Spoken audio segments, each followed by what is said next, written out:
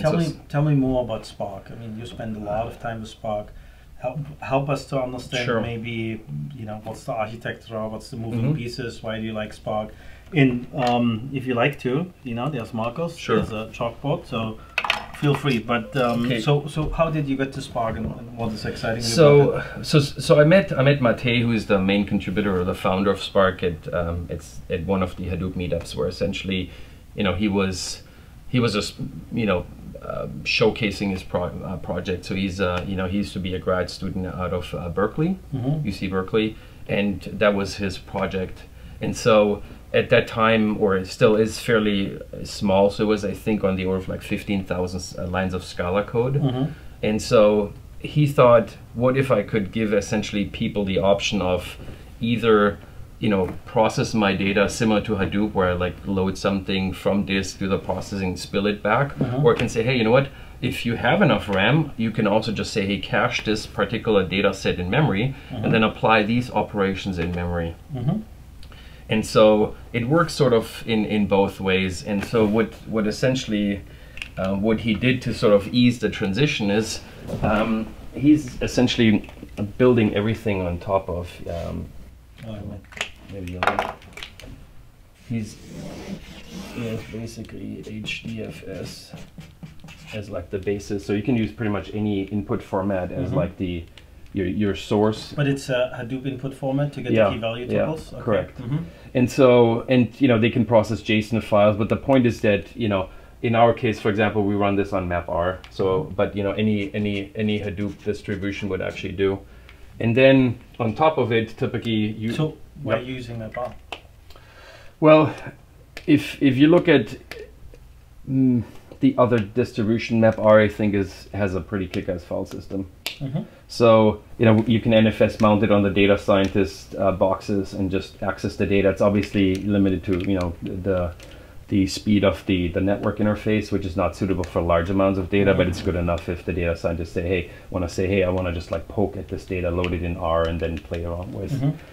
Um, Sorry, I interrupted you. So Sure, that's fine. HDFS and then Yeah. input format. Yeah, and so essentially what you would do is you would co-locate, you know, like in good old Hadoop fashion, the data nodes would be co-located with the, the Spark uh, Mhm. workers. Okay. And so essentially what you would have is, well, this is kind of weird because I'm, you know, I'm sort of mixing physical with logical. So, you know, if you would say this is a, is a data node, you would, you know, run your Spark, Spark worker, worker in here. And so you would get data locality essentially.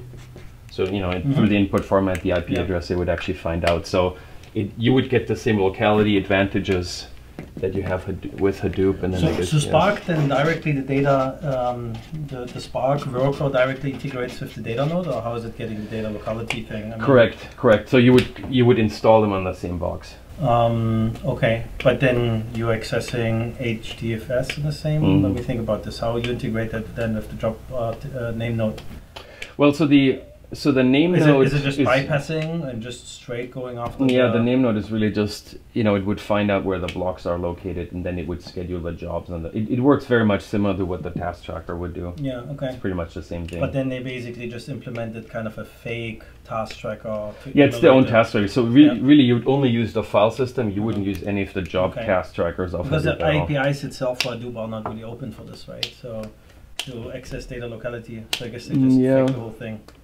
Yeah, I think I think you can actually get. Yeah? I think you can get to it. I thought Okay. so. Yeah, I thought so. All right. And, Well, and it, it seems to work. It Okay. seems to work. It seems. it seems to work. Yeah.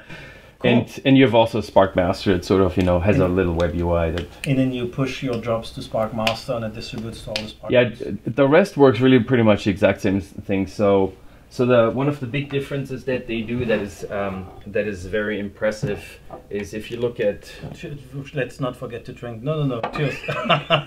cheers. I got enough. Yeah, cool. So one of the, the cool things that Spark actually does is, you know, when, when you're in Hadoop land, um, you have the a jar Mm-hmm. that is your job, Yeah. and you push it out, gets pushed out to all the nodes, Mm-hmm. and you know if you have a larger job that you know causes for some one, overhead, Yeah. And so what what Spark does is, let's say I have a map operation. So I have, you know, let's say I have a collection, collection, and I saw dot map. So I'm Mhm. running a map operation on it. Mhm. I could basically say, you know, let's say this is my record. So this is Scala code record, and and I say I don't know what I would do with it. I would say record times two uh, times two. So and so this would you know since it's functional programming, it would actually this result would be emitted as the as the Mhm. result of that operation. And so Finally, closures.